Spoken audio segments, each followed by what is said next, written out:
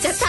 本日の戦いも そろそろ決着のお時間にてへぺろ、うわー。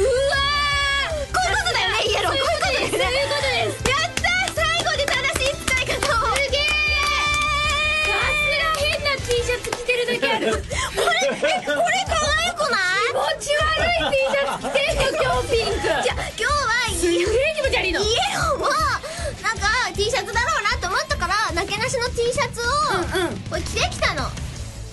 昨日買ったお乳なんだよ。わわーすすごい。あうんその気持ち悪さ加減がすごくお似合い。です合うい。ね頑張ろう。7月これ流行らしてって。えそんなちょっと待ってください。ちょっとなんでピンクいきなり真面目に、これちょっと7月は流行らせていってってすごいなんで真面目になったんですか？いやだってだってほらテヘペロってあのひよちが言えば中村はスケスケビームをって思ってはい。まあ交換する？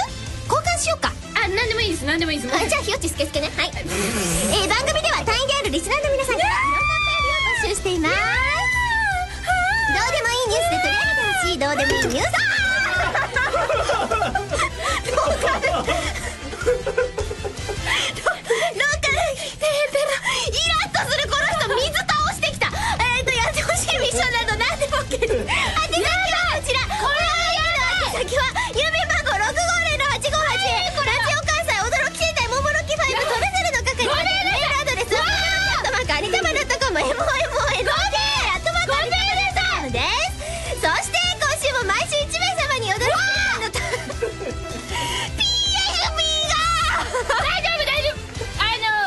れてない濡れてない。嘘だなんでなんで嘘つくなどう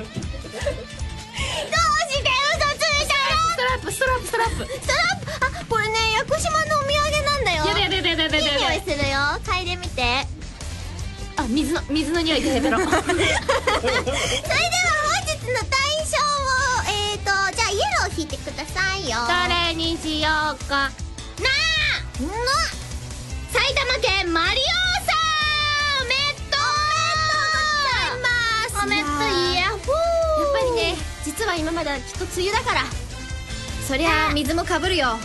そうですよね。そうですよねそう。そう今日はね降水確率50%だからたら半分は水かぶる運命だったんだよですよねしょうがないよねヤッホーイでペロイラッと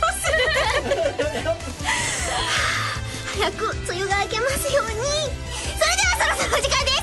驚き戦隊ママ泣きファイブお相手はママ泣きピンク中村えりことテヘペロ深瀬陽子でしたママ泣きイエローでしょこうして今日も地球の平和は守られただが人々が感動を取り戻すその日まで彼女たちの戦いは終わらない戦え桃の木5負けるな桃の木5